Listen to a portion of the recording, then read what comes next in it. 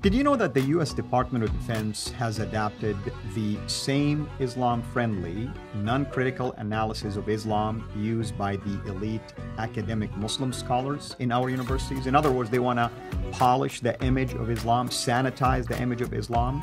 But in reality, this is not the way Islam is seen in the rest of the world, including the Muslim world.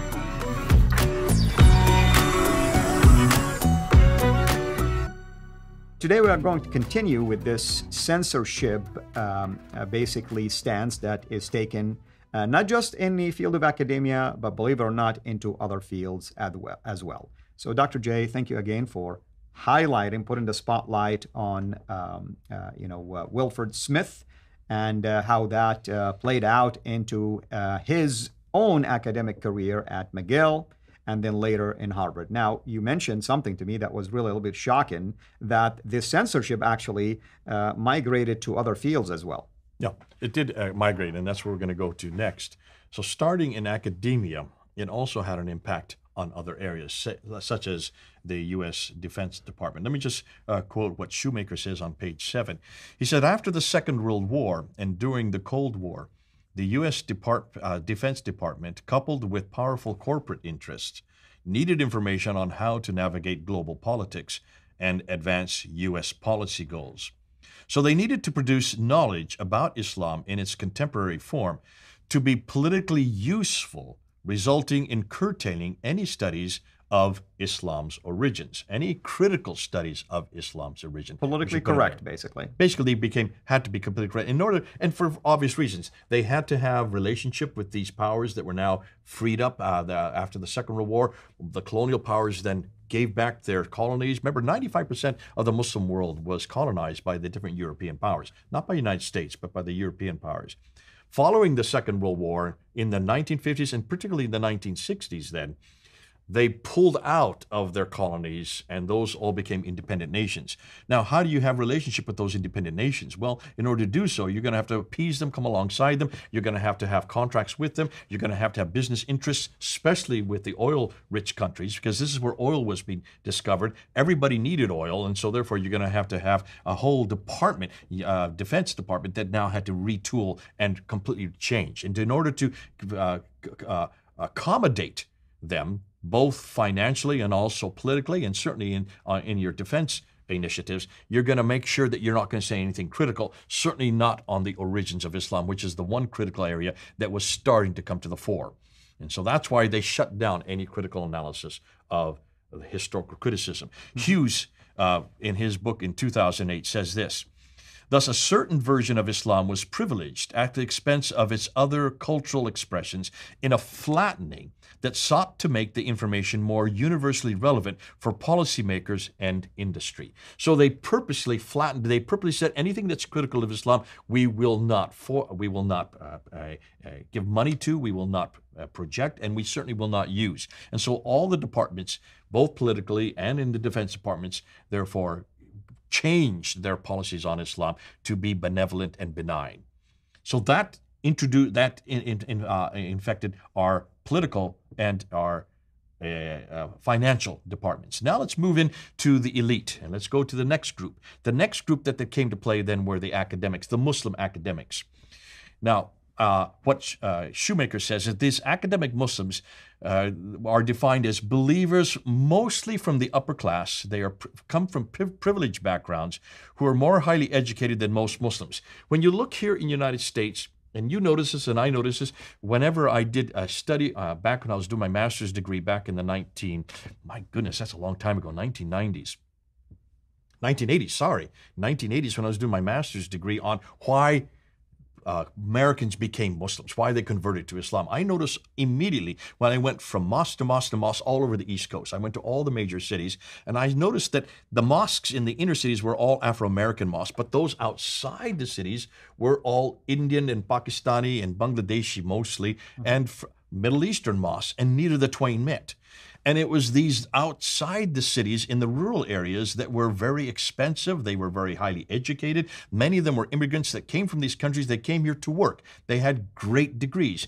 they were the ones that started imposing this high, this criticism of anything critical of Islam, especially historical criticism. And this is what Hughes goes on and stay, uh, uh, carries on and speaks about this group of Muslims. They are elite and they tend to be very highly educated. They are the ones that are actually in our universities. Mm-hmm. They are the ones that are defining Islam and trying to sanitize it for a Western mindset. And he says this speaking from their lofty perches in the ivory tower of academia, these Muslim scholars, quote unquote, will frequently insist, for instance, that Islam in its true form is fully compatible with most of the liberal values of the West of the Western Academy on issues such as race, gender, and especially violence.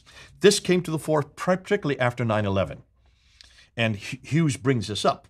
He's writing in 2014, just at the height of where ISIS is coming to the fore with Al Qaeda doing what it did on the, around the world, with Boko Haram, Al Shabaab, all these other groups popping up all over the world, and then of course with ISIS coming to the fore in 2014, suddenly Islam had to have a whole new, whole new narrative. And I saw this. I've said this to you at Speaker's Corner in the 1990s. At Speaker's Corner, when I started in 1992, we used to get beat up. There was violence. We get punched. I got broken glasses. You can see where they try to open up my throat. There was no there was no push to be peaceful in my interactions with Muslims. Muslims use violence quite readily until 9 11, until 2021, September 11, 2021, almost overnight, the narrative changed to one of peace. Now they became a religion of peace. And I, because I saw it personally firsthand there at Speaker's Corner, it became a lot easier to get up on the ladder and actually confront Muslims because I knew I wouldn't get beat up anymore.